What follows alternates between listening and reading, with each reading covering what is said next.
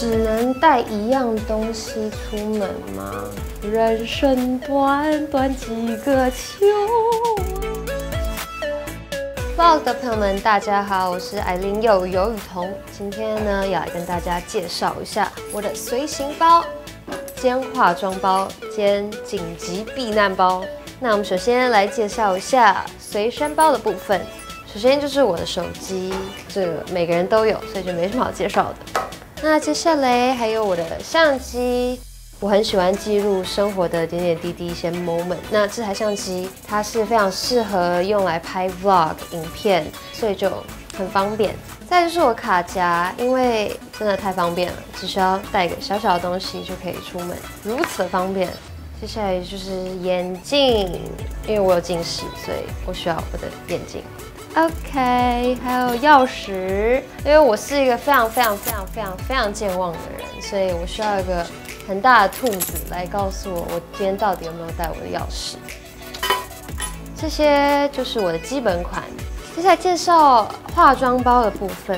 那因为有时候出门很仓促，所以呢，我的包包里随时都会放着一些必备的化妆产品。首先这是眼影盘。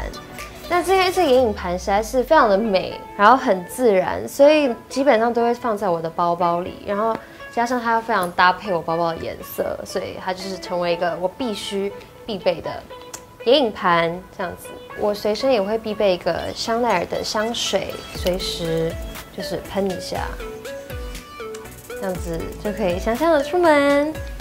对的。当然，每个女生包包一定会有一个口红，那这个就是让嘴巴上有点颜色，这样子随身必备着。香奈儿的唇膏，再来就是这个香奈儿的打亮液，这个真的是非常方便，因为你有时候脸上没有什么妆，可是你又想要闪亮亮的出门，那你就是必备这个。那基本上你擦一点点，然后阳光再打在你手上。一般我是擦在脸颊这里，还有锁骨的地方。那当阳光打上去的时候，就会有个很自然的反光，然后也很保湿。那这个就是化妆包的部分。接下来呢，接下来呢就是紧急避难。首先我有一个枇杷膏，那真的如果发生什么事情，这个枇杷膏可以生津止渴、清凉退火。那平常呢？就因为我还蛮唱蛮爱唱歌的，所以随身就会必备着这个枇杷膏，然后偶尔来个两声。人生短短几个秋啊，不醉。好，紧急避难包的另外一部分，当然在野外求生就需要食物嘛。我平常就会特别准备两包的猫食，因为我喜欢吃尾鱼。不是啊，我平常呢就是会带着这个，因为。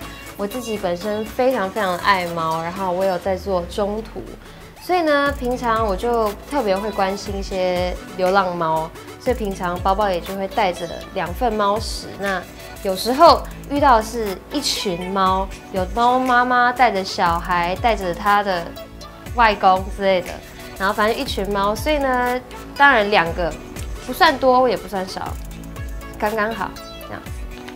对，就是。包包里比较特别会放的东西，只能带一样东西出门，好难选哦。因为这些说重要，好像又不太重要。如果真的只能带一样东西的话，那我决定带一颗快乐的心。